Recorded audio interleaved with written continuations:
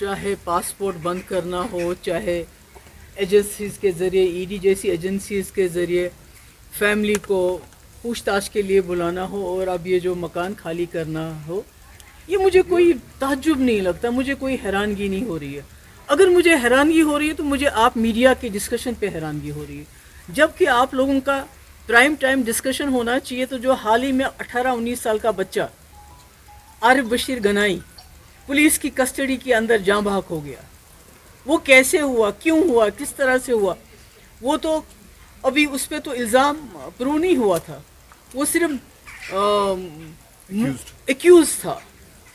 उस पर अभी मुजरिम नहीं था वो सिर्फ़ मुलजिम था। तो वो कैसे मारा गया कस्टडी के अंदर पुलिस के के होते हुए सिक्योरिटी के होते हुए? वो आपका प्राइम टाइम डिबेट होना चाहिए। कौन सी बात है? मैं वो मुफ्ती को जी मकान खा तो करेंगे खाली इसमें। अगर इनको सिक्योरिटी का एहसास नहीं है, किसी चीज़ का एहसास नहीं है तो हम करेंगे इसमें क्या है?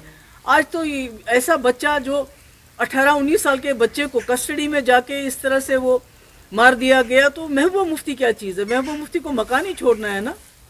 तो इसके ऊपर डिस्कशन होना डिबेट होना, मुझे बहुत अफसोस है मीडिया के जो लोग हैं जो इस पर अपना वक्त ज़ाया करते हैं। बजाय इसके कि जो संजीदा हमारे मसले मसाइल हैं जिसमें ये आरिफ गनाई अठारह उन्नीस साल का बच्चा इतनी मुसीबत इत, इतनी मुश्किल हालात में सिक्योरिटी के अंदर कस्टडी के अंदर मारा गया।